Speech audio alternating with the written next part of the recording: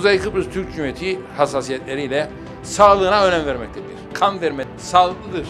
Hem başkasının hayatına hayat veriyorsunuz hem de kendi sağlığınıza da buradan bir fayda sağlıyorsunuz. Kuzey Kıbrıs Türk Cumhuriyeti Devleti de bir devlet olarak kurum ve kuruluşlarıyla, sivil toplumuyla yaptığı çalışmalarla gerçekten gereğini yapmaya çalışıyor. E, kan verme gününde e, sayın komutanlarımıza da tabii ki e, bu vesileyle bir kez daha teşekkürlerimi ifade etmek istiyorum. Çünkü ben de yıllardan beridir bu sosyal faaliyetlerin içerisinde her zaman askerimiz orada nöbette kan vermek için hazır duruşta. Kızılay'ımızda, diğer kurum ve kuruluşlarda her yıl farklı etkinliklerle bu kan bağışlamanın ne kadar hayati ve önemli olduğunu toplumun hafızasına bu yerleştirilmiştir diye düşünmek istiyorum.